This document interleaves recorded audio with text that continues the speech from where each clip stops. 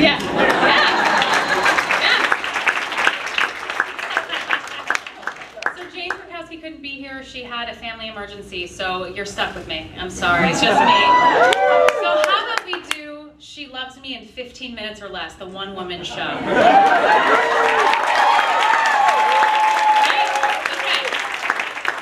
Who here doesn't know the story of She Loves Me? Sheldon, put your hand down.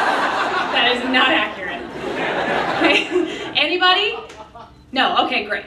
So this first song that I'm about to sing, I actually didn't get to sing in the show, but I wanted to. I'm nervous and upset because this guy I've never met I get to meet tonight at 8. He's taking me to dinner at a charming old cafe, but who can eat tonight at 8? Early in the morning and our date is not till 8 o'clock tonight, and yet already I can see what a nightmare this whole day will be. I haven't slept a wink, I only think of our approaching tete-a-tete tonight at 8. I feel a combination of depression and elation. What a state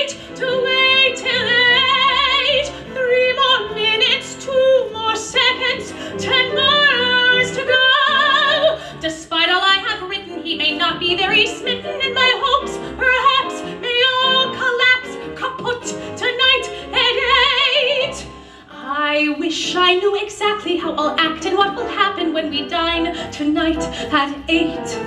I know I'll drop the silverware, but will I spill the water or the wine tonight at 8? Tonight I'll walk right up and sit right down beside the smartest guy in town, and then it's anybody's guess. More and more, I'm breathing less and less. In my imagination, I can see our conversation taking shape tonight at 8. I'll sit there saying absolutely nothing or I'll jabber like an ape tonight at 8. Two more minutes, three more seconds, ten more hours to go. I'll know when this is done, if something's ended or begun, and if it goes oh,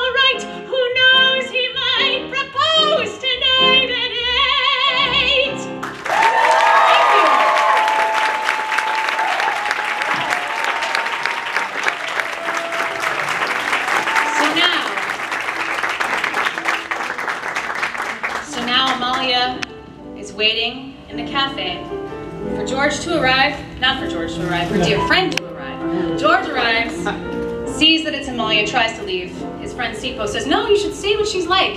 He goes in, he riles her up. She's understandably rude, which is going to be the name of my next book.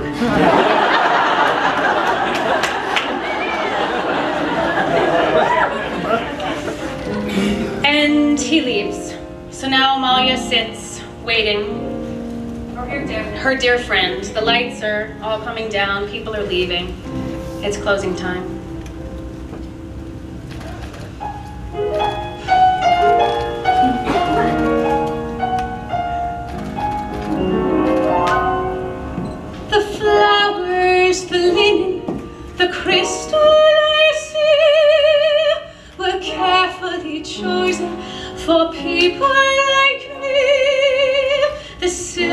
Gleam and the candles aglow.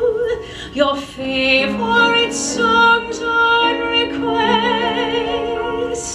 Each colorful touch in the finest of taste. And notice how subtly the tables are spaced. The music is muted, the lighting is low.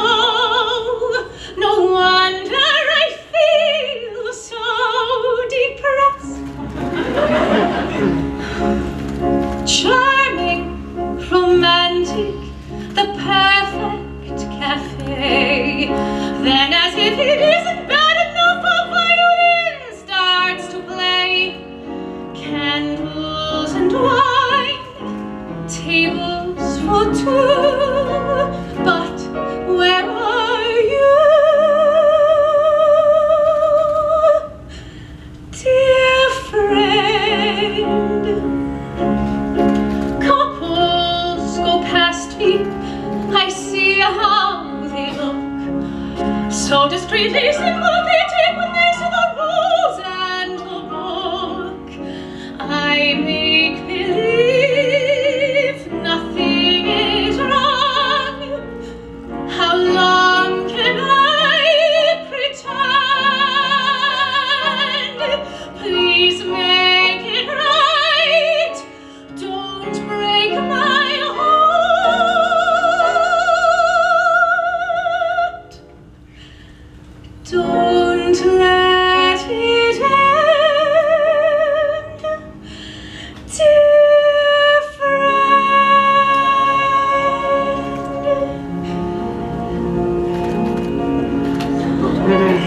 Like your friend didn't get here. I'm sure there's a very good reason. Then he'll write you and you can patch it up, and I hope you'll be very happy together. Thank you.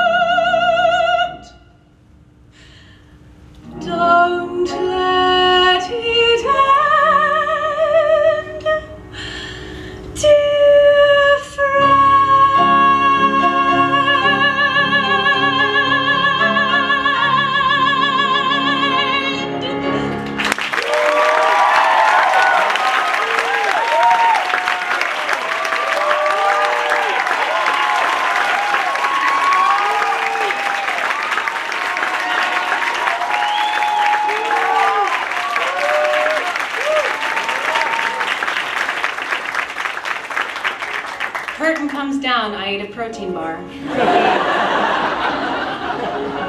I used the restroom. I checked Twitter. Curtains up. Amalia is understandably depressed, the name of my next book. She's called in sick for work.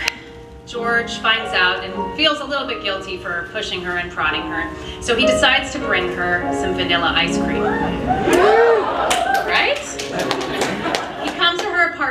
They have a meaningful conversation for the first time ever. Although he does manage to convince her that not only has he met Dear Friend, but Dear Friend is old, fat, and bald. Amalia doesn't care. She only cares about what's been written in the letters. She only cares about his heart. George leaves, and Amalia begins to write a letter to her dear friend.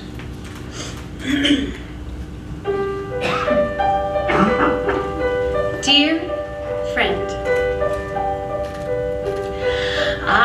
so sorry about last night. It was a nightmare in every way, but together